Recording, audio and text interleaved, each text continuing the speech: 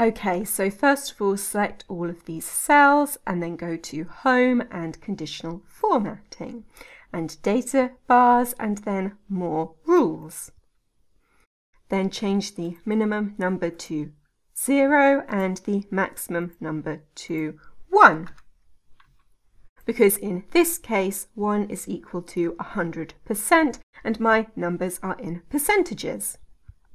Then change the bar colour to blue and give it a solid border. Then change the bar direction to right to left and OK. And then we have the first set of bars. Then make the second set of bars by going back to conditional formatting and data bars and more rules.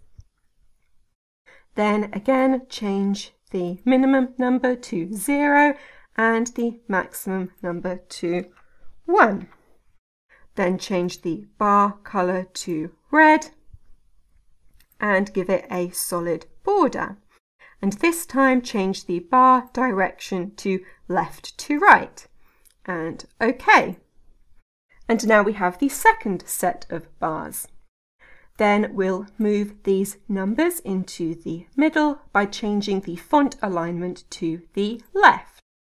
And also change the font colour to white to make the numbers stand out more. And we'll change the numbers here to white as well. And then make everything bold. And take the values in the middle and align them to the centre. Now select this column here and hold down control and select this column and then adjust the size of the columns so they are both the same size.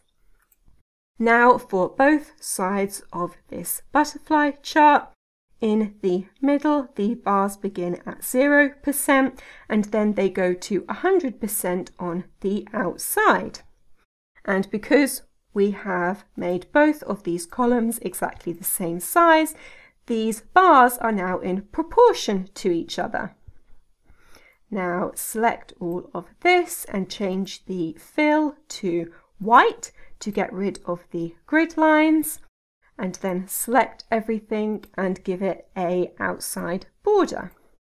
And we will also give this part here a border and also the titles. Now, if you want to edit the conditional formatting, select the cells and go to conditional formatting and manage rules. Then select the rule that you want to change and edit rule. So for example, if I tick show bar only here, it will make the numbers disappear. And OK, and OK again and now all those numbers have gone. Okay, so in this video I have shown you how to make an in-cell butterfly chart in Excel, and that is everything.